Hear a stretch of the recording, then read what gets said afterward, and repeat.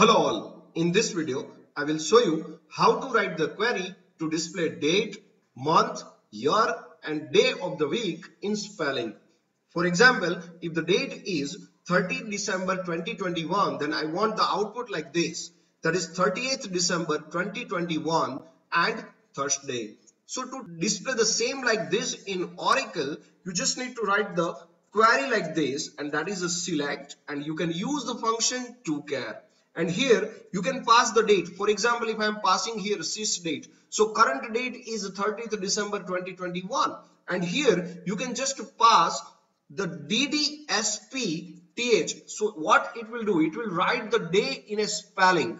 So you can just execute this particular part only. So you can simply write from dual. You can copy this. And you can paste over here in Oracle. Then you will get the 38th, right? So this will simply print the date in a spelling. Now I want the month. So you can simply write here month. Here you can write year and here for the weekday you can simply write day. You can simply copy this particular query and you can paste over here in SQL then you will get the result like this that is 30th December 2021 and Thursday but unwanted space is coming over here. So to remove this space, you can simply use the fill mode that is FM. So whenever you write here FM, it will fill the mode and it will simply remove the spaces. So you can now simply copy this particular query and you can paste over here in Oracle and you will get the result like this that is 30th December 2021 Thursday. But I want the output that is case sensitive like this.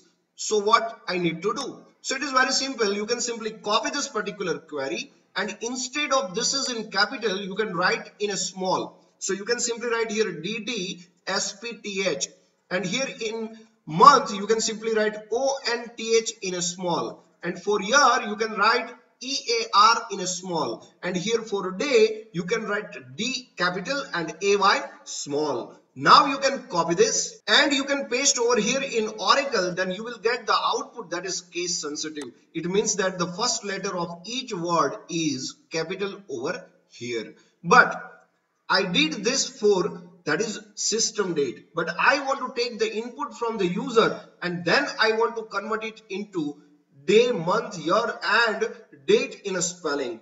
So you just need to do what? You can simply copy this and you can paste instead of this sys date you can simply write here that is to date.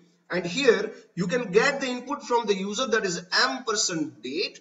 And you can convert your user input into format that is dd mm yyyy and here you can simply close the function of the to date. Now you can simply copy this and you can paste over here in oracle so it will ask you to enter the date. Suppose if you write here that is 8 March 1985 then you will get the result that it is 8 March 1985 and Friday. So this is the way you can write the query to display date, month, year and day of week in words. So that's it from my side. If you like this video then please like, share and subscribe to my channel. Thank you very much. Have a nice day.